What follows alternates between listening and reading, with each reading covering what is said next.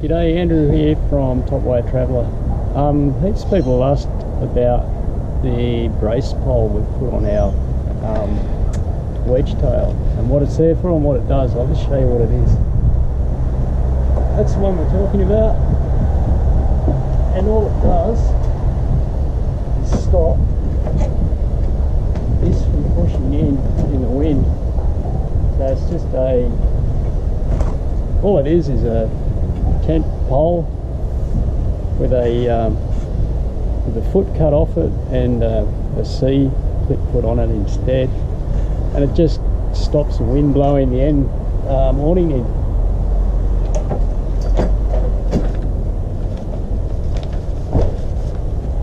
That's it.